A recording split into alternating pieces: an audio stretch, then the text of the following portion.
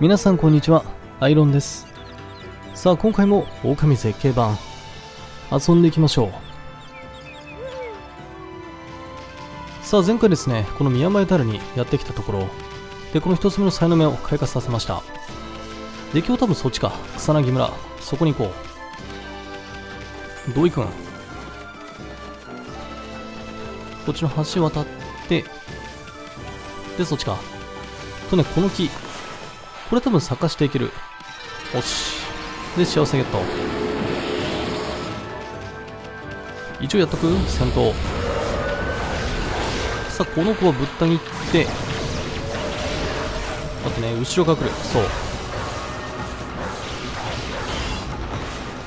さあ、再び切って、よ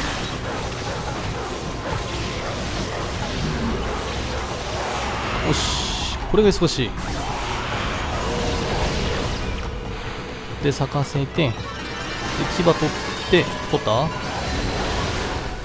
で、この子はひたすらに切っていく。もう一発。こういこう。で、さらに、こっち。よし。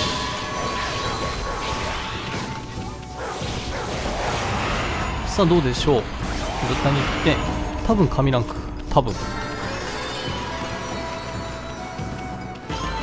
よし。はい、神。で、お金大体5万円。4万7千円。とね、鹿さん、餌あげよう。おし、草あげて、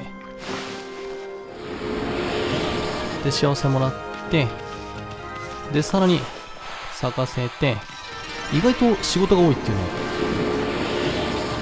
やるべきことが多い。でですね、そっちかなうーんとね、草薙村、土井くん。うーんとね、降りていきますね。よし。さあ、落っこって、で、そっちかな関所。待ってね、草薙村そっちか。何？ワンちゃん。何この子？さあ、肉あげて、これ野犬か。あの、前回か前々回のパートで言っていた野犬ね。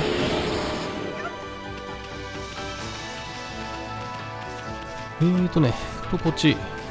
これ洞窟ね。これ前開通したっけ？一応見とこう。あ、ですね。風桜。そう。これはもう満開にしてある。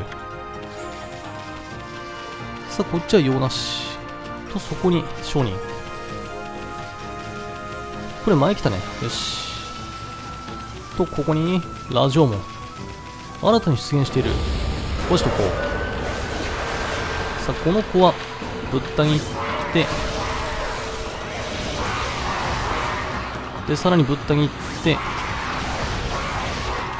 よし、まとめてぶった切って、待ってね、くっついた。さあ、これもぶった切る。よし。ダメ。抱きつくな。よし。さあ、どうでしょう。で、最後にこの子。待ってねこっち。今なんか反撃っぽいものを食らったな。なんだ今。で、咲かせて、はい。で、咲いたらあんたは死ぬ。もう一発。よし。さあ、処理完了。よしよし。だいぶ慣れてきた。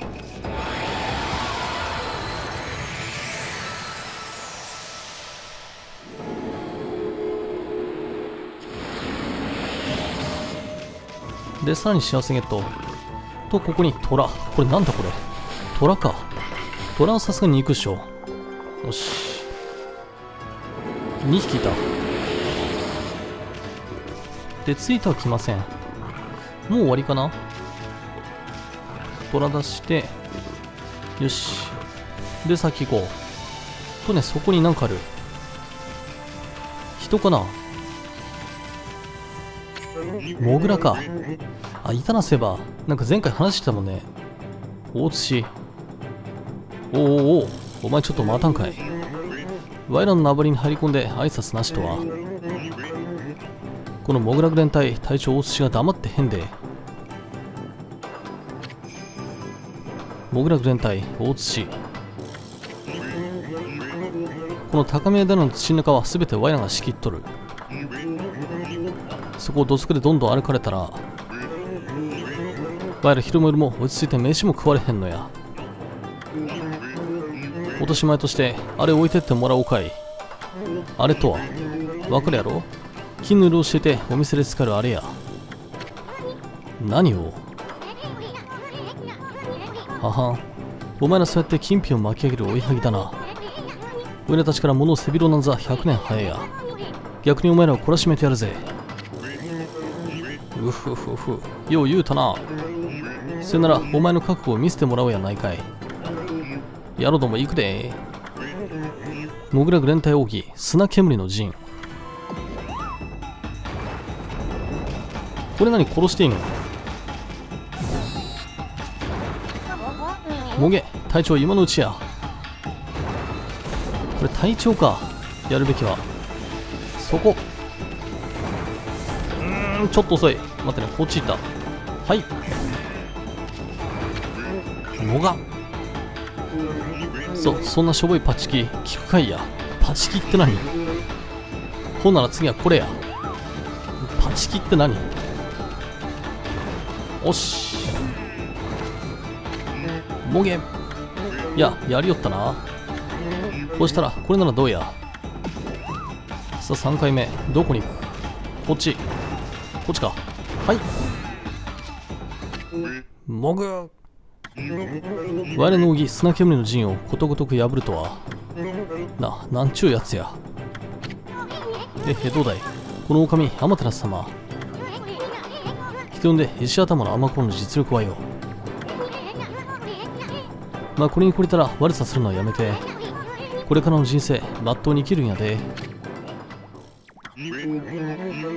やっていいことと悪いことの区別くらい分かっとる。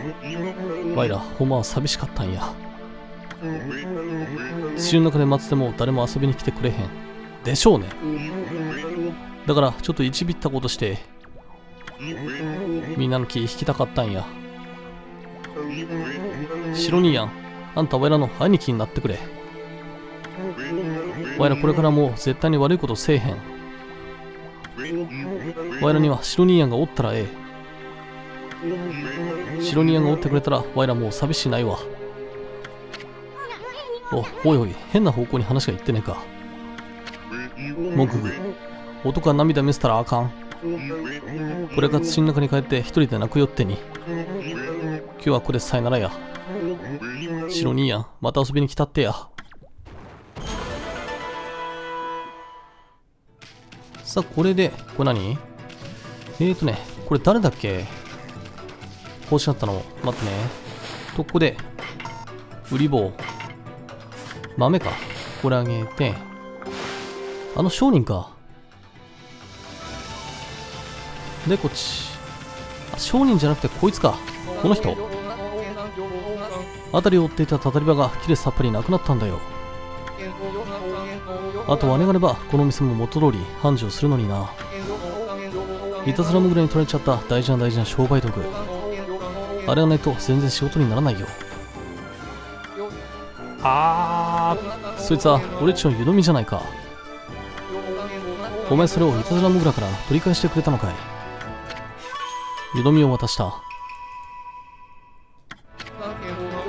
うありがとうよ。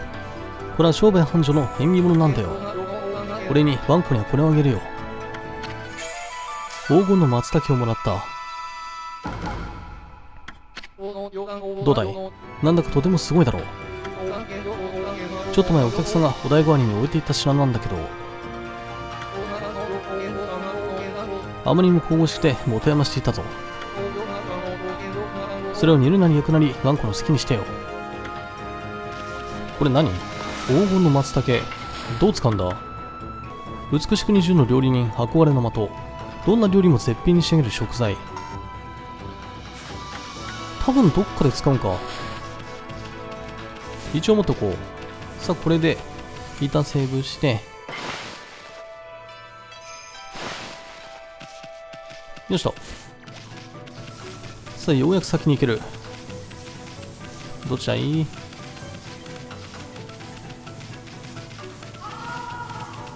とねそこにお家。これ何？誰のお家？なんかすごい険しい顔の方がいるよ。れハサミか。何この人。下切りババ。ひょん。さっきから手頃な食い物がないか探してたんだがこりゃうまそうな犬畜生じゃないかい。恐怖。下切りババ。じいさんが獲物を取ってくるまでこいつで食いつなごうかにえー、なななななこの人。どうどうすんの？殺していいんすか？頭突き。よし。やりやがったねこの犬畜正面。ああまた来るまた来るよ。はい。いやこれ待ってね。太刀打ちができない。どうする？お家の中入る？なんなんこう人骨あるしやばいでしょ。人を食ってんの。さあズバッとやってと襖ですね。これ壊してこっちはこれは特になんでもない？お風呂かな？トイレかな？調べる。親はここだけ床が色あせたら。長い間野ざらしになったみたいに床はもう腐っちまったら。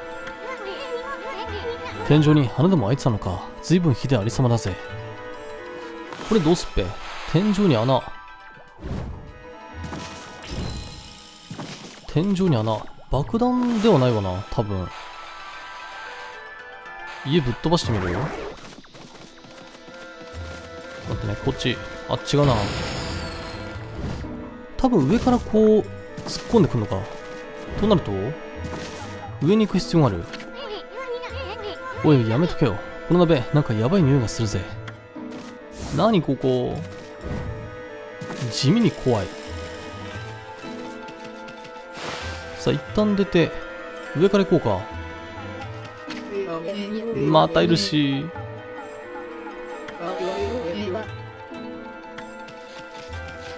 えーとねそうこっちか。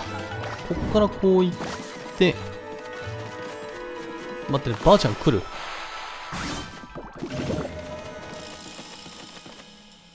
来ませんように。よし。さあこれでここかな？これだけ問いたを重ねて補強した跡があるぜ。それにしても随分荒っぽく直したるな。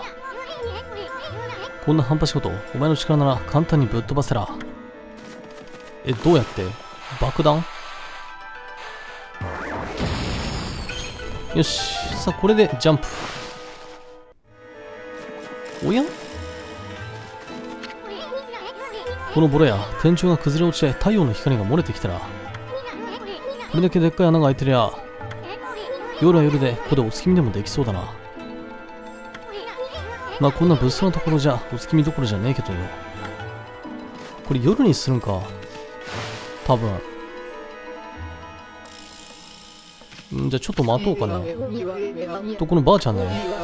これ捕まるとどうなんの？もうちょっとで夜。少し待とう。なんなんこの人。とここにこれまたフックっぽいやつ。さあ夜になりました。ほんであでこれあれか。夜になると掘り起こしていける。なるほど。ではぐれ玉。さあこれ取って。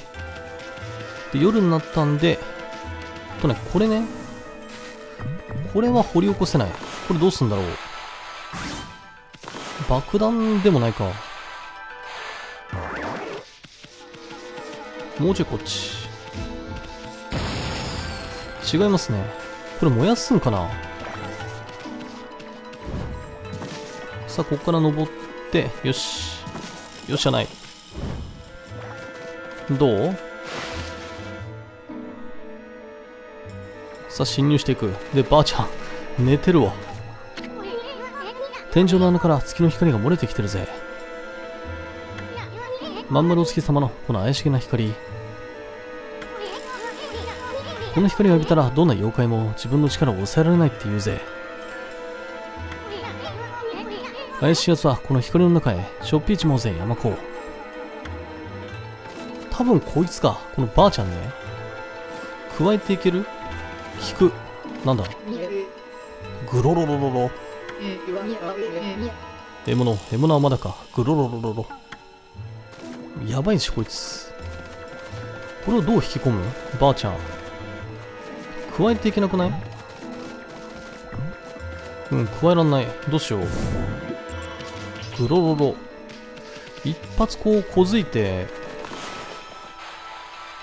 起こしてみる？んなんだ？そっち。グロ？いや反応がない。マジで？これなんだ？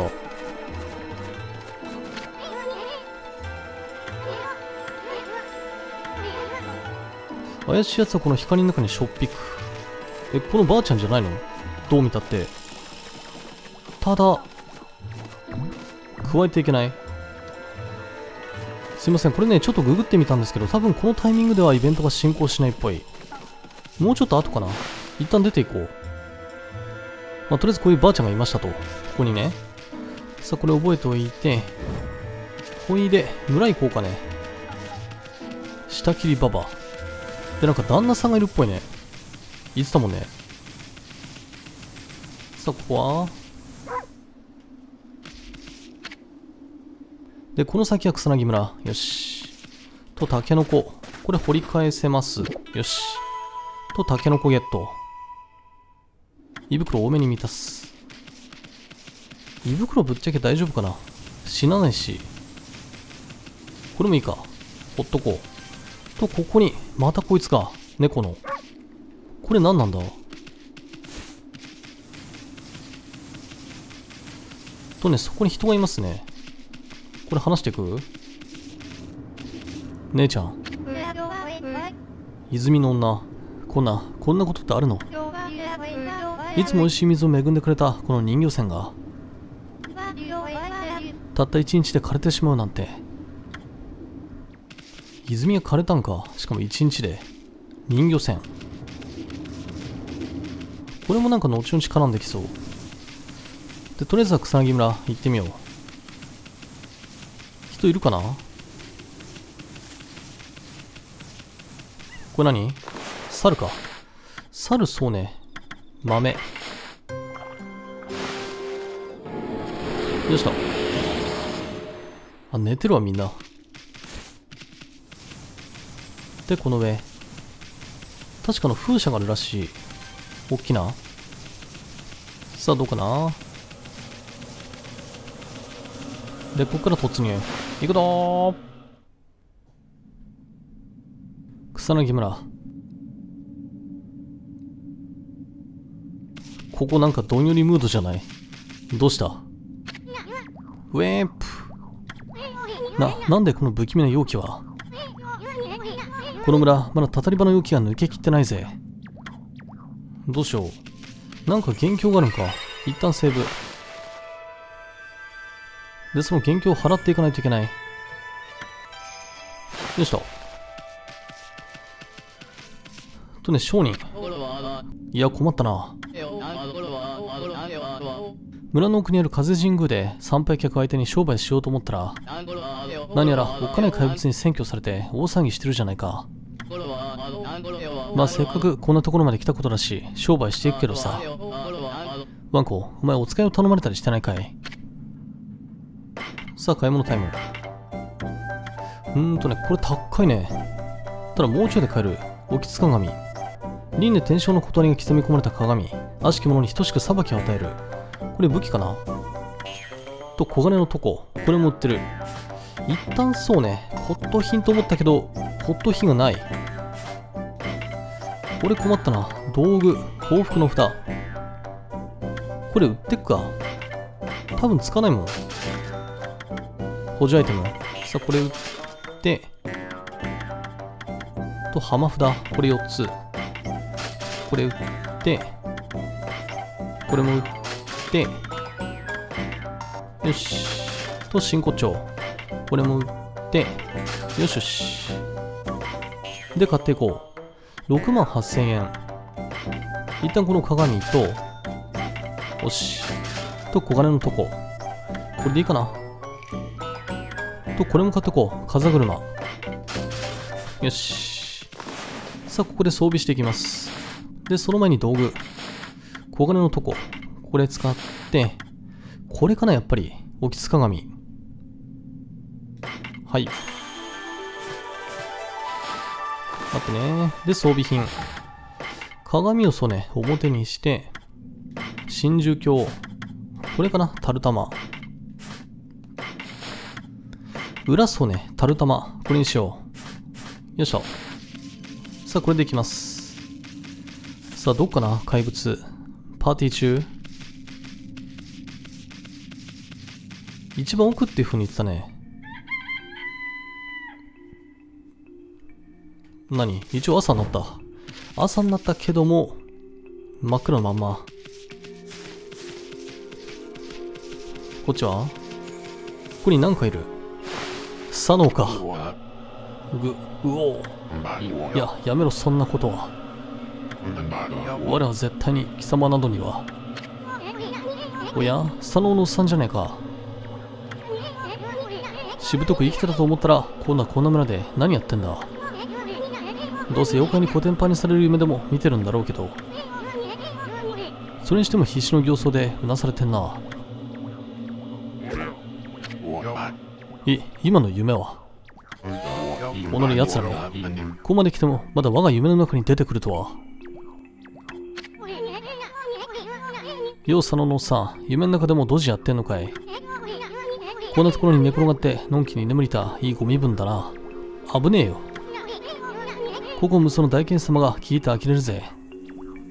むお前はポチと金玉虫。5本また我の瞑想を邪魔しに来よったか。我は音に聞こえた大妖怪赤なんとか討ち取るため。無双の中でも戦いの組み立てを考えているのではないかただその必勝祈願のためこの村の風神宮へ参拝に来たのだが夜にもよってその風神宮が赤なんとかに占拠されたというのだ。まあ祈願などしなくても我が県は無敵なのだが人々のためにも万全を期さねばならぬゆえおろそかにはできん。まずはじっくりと腰を据えて考えに考え抜かねばな。さてどうしたものか。なんだかんだ言って結局寝るのかよ。ここにいるんか？赤なんとか。こっちかな？行ってみよう。とこれ登っていける？待ってね。いけますね。よし。さあほじくり返して。よしとあただ炭が使えない。なんで？このせいかあのたたり場の。どうしようもない。つまり行くしかない。どこでいどこにも人間。じいちゃん。ふにゃ参った参った。これは参ったことになったな。ん。はあこりゃかわいい狼さんだね。ねえ狼さん。今わし参っちゃってるの。見ての通りわしは竹細工作りをなりわいにしてるんだけど材料の竹を取ることができなくなっちゃってさ。こんなこと相談されても狼さん迷惑だよね。竹細工職人竹取りの沖縄。じいさん狼名店相談なんてよっぽど困ってんだな。ああ妖精さんも聞いてくれる？わしいつも高宮での笹部峡で竹を取ってるんだけど。最近その竹やぶに入れてもらえなくなっちゃったの。笹部峡に住むスズメ組が急に入り口を閉めちゃってさ。ああ竹細工が作りたいな。わしの人生にはもう竹細工しかないのよね。それにもうすぐお祭りが始まるから。そこで売る竹細工を早く間に合わせないとね。なんだいなんだい新規癖顔してよ。あの子これはめんどくせえ話聞いちまったな。竹か。普通に生えてんじゃんここに。とねここになんだ？これもしかしてかぐや姫？あただあれが使えない牧獣の技。でこれじいちゃんの家ね。おそらく。ですね。さつまりこっちではない。一応この家だけ荒らして。で、タケノコ。これお金にはなりませんね。ん、なってる？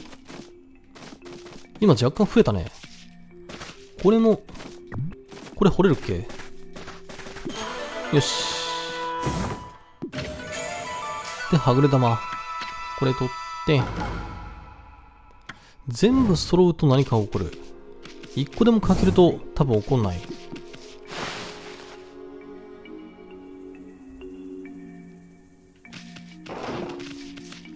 これ一応ほっとく？お金増えんの？あ、増えてますね。マジか。お金は結構大事。よしと。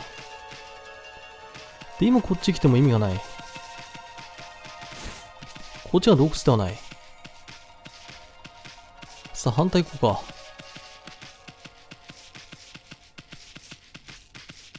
そっち。で、下のほっといて、ここに、あ、これ黒羽か。そう、ただ、これもか。できない。よしと。さあ、掘り返して。ていうか、結構人いんな。どっから来た？これ待ってね、行こうかね、先に。洞窟？どこにあるんだい？こっちかな？どこら辺？そこ何？あそこさっきの？あ、ですね。さあ、どこでしょう？上かな？ずいぶん神気臭いわ。早く握力したいね。洞窟。このずっとか。多分。で、そこなんか神社っぽいとこ。こっちかな？伏せ姫。な、なんということか。不覚にも一瞬の隙をつかれて妖怪に疲れてしまうとは。せっかく妖怪たちの侵攻から村を守っていたものを、このままではこの村はたたり場に変えられてしまいます。ああ、もうダメ。力が抜けていく。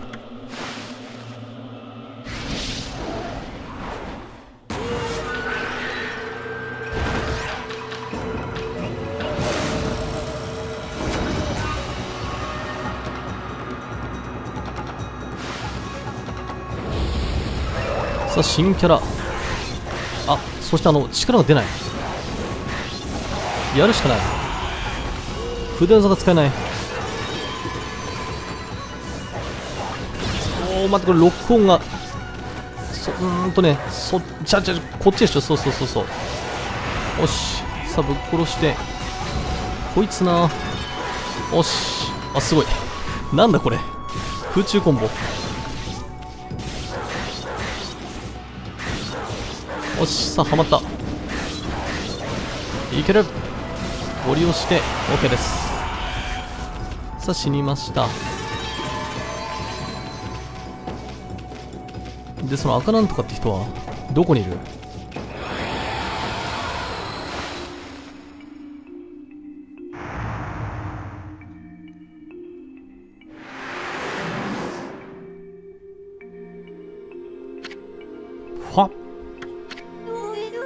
えいつの間にか容器の呪縛から解き放たれている。なぜか分かりませんがとにかく助かったようですね。姉ちゃん一体何があったんだい？おや。そうとはもしや我ら里見一族の使いのものでは。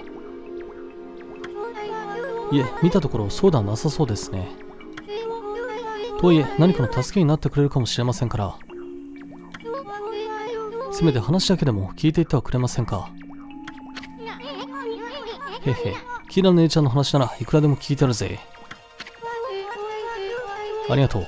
私は風神宮に使える巫女伏姫です。風の村の伏姫。風神宮というのはこの上地岳の頂に建てられた建物で山に住む風神様を祀った神殿なのです。それがの風車。上地岳から吹き下ろす山おろしは妖怪を跳ね抜ける力を持ち神風と呼ばれて昔から村の守りと崇められてきました。ところがある時を境にその神風がぷっつりと止んでしまったのです。そのため村の中にまで妖怪どもは忍び込むようになり最後の宮司の私までもが取り殺されるところでした。全ては全てあの恐ろしい怪物の所業なのです。それが赤なんとか。おや話の続きを聞いてくれるのですか？聞くしかないっしょ。神風が止んだ理由それはただ一つしかありません。ホームランのもの赤兜。そう呼ばれる物置が風神宮に取り付いてるからなのです。赤兜はこの一帯の妖怪たちを束ねる狩猟で100年もの昔から高宮平に住み着いておりました。代々風神宮の神主を務める我ら里見家は赤兜の一派と長きにわたって戦い続けてまいりましたが1年前神主が山に倒れたところを攻め込まれ神主は撃ち殺され風神宮は赤兜の手に落ちたのです。聞いたことあるぜ。里見家の当主が妖怪に殺された話は赤兜を退治すれば必ず神風は蘇るはずなのですが神殿は邪悪な結果に閉ざされ未熟な私にはどうすることもできません。もはや残された希望はただ一つ。里見家に使えるあの戦士たちのみ。その戦士とは赤兜を退治する唯一の希望それは献身里見八犬士しかおりません。ワンちゃんの神。里見八犬士は古くから里見家に仕え風神宮を守ってきた戦士たち。平和の使者として中津国全土に使わせていますが彼の力が集まれば赤兜の結界などたやすく打ち破れるでしょう。へえじゃあその発見数もさっさと呼び戻したらどうだい？それが彼らにはすでに招集をかけてあるのですが未だ戻るものはおらず往診も途絶えたままなのです。この村に戻ってきてる気配は感じるというのに村にいるんか。もしも妖怪に襲われ怪我でもしていたらどうしましょう？そうだ狼や。そなたの花なら彼らを探し出すはしませんか？念のためそなたにこれを渡しておきましょう。空飛ぶ印籠かな？里見の印籠をもらった。この村のどっかに感じる5つの木は発見士のものに違いありません。彼らも気難しい上里見家以外のものになかなか心を許しませんがその印籠を見れば必ず私のもとへ戻るはずです。里見の色は彼らの気を感じ取りその方角を指し示しますからどうかその印籠を手がかりにそなたの力で彼らを探しておくれ。なんで最後だけタメ口なの？へへ任せておきなよ。一人残らず無傷で届けてやら。あの子俺はたっぷり弾んでもらおうぜ。プフフフ。ワンチャン探しか。どこにいる？で、ここに5匹いんの？本当に？ワンチャン。ワンチャンどこ？待ってね。鶏がいる。さあ、鶏に豆あげて。今んとこいたっけ？この村。多分遭遇してないと思うよ。どっかな？隠れてるんか？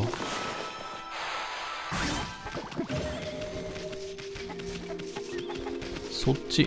なんかそっちそうじゃない？うーんとね、スズメちゃん。で、これお地蔵さん。道中の安全を祈願する。で、多分これもお供え物。あ、違うの？違うんか。ワンちゃん、待ってね。さあ、豆あげて、忙しい。で、幸せもらって、ここいませんかね？ただそっち行ける。うーん、どうしよう。これそっち行っちゃう？行くとまずい。今行っても仕方がない。行ってみようか。これどこ行くん？よいしょ。どこだい？うーんとね、とそこに人がいる。あいつか。これ誰？誰さん？んワンちゃんじゃない猿かこれ。うーん、猿か。ワンちゃんでもない。さあ、肉あげて。と、このおっさんね？おっさん。見張り板か。やっぱり見えねえな。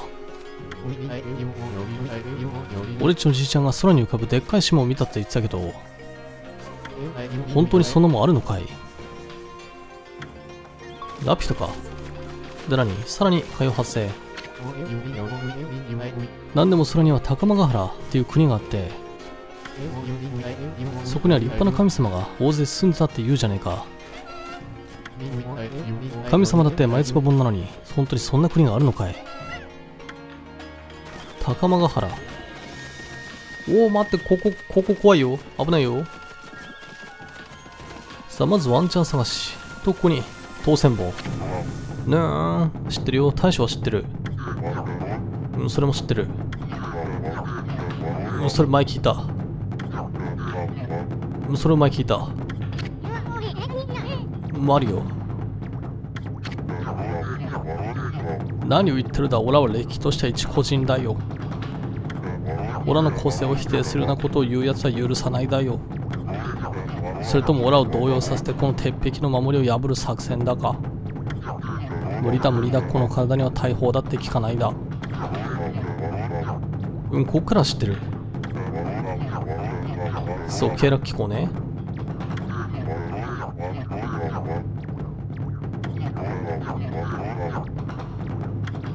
さあ、ここで、頭突きして、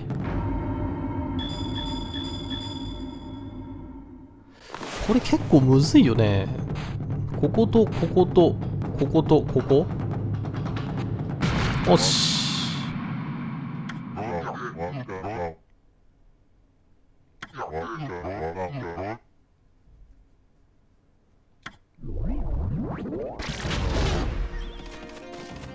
さあ、ここは？これなんすか？宝箱。こんだけ。で、骨董品。牛の角の飾り。いうもの牛の角を飾り物にしたもの。生態美が生み出す最高の芸術品。よし。と、これはホリホリ。ホリホリして。ワンちゃんいなくね？ちょっと一匹見つけて終わりにしたい。よしと。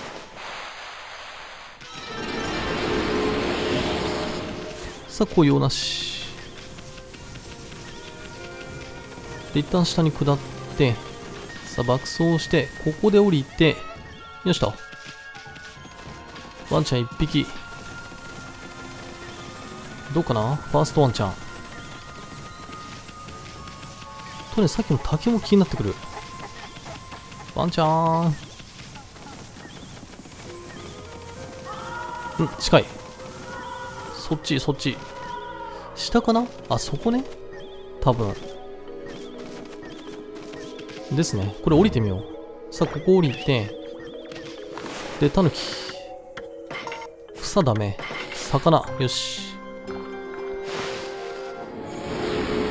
さあ、お魚与えて、ね、クローバー。そうそうそう。さあ、これ丸して、よし。で、この中ね、ここにいる。なんでこんなとこにいるの？どうやって入ったん？さあ、いました。でかっ土佐犬か？こんなところに犬コロがいるぜ。こいつなんか言ったら、なんだ？おいら少しだな、動物の言葉もわかるけど。お、こいつお前の持ってる里見の犬を見て尻尾振ってるぜ。で、何々腹減った飯よこせ。だと？いきなり餌の催促とは節操のないやつだぜ。で、餌か？お金使うんか？腹減った飯をごせ。おや、待ってね。餌あげらんなくない？どうすんだ？壺かな？餌を持ってくる？タケノコかな？と、絵袋。これ、あげらんない？うーんとね、これ使うんかな？もしかして。道具。肉。肉か。あ、こうするんだ。なるほど。え、これもしかしてみんな肉いるの？人数分。よしと。腹いっぱい。主君の伏せ姫から召集かかった。でも家に帰る前ちょっと道草食いたかった。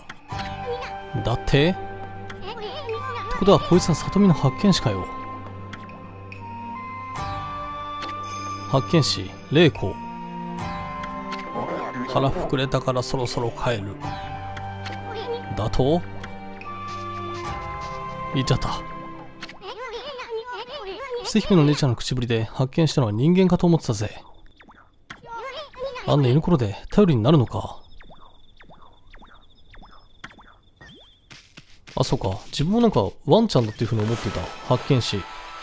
里見発見伝さあどうね、えー、すいません。今回一旦これ終わりにして、で、次回ですね、まあ、適度にカットしながらワンちゃんをね、探していきましょう。えー、よかったらコメント、高評価、チャンネル登録、あとツイートをしてくださると嬉しいです。ではね、えー、また次回狼でお会いいたしましょう。今回はこの辺で。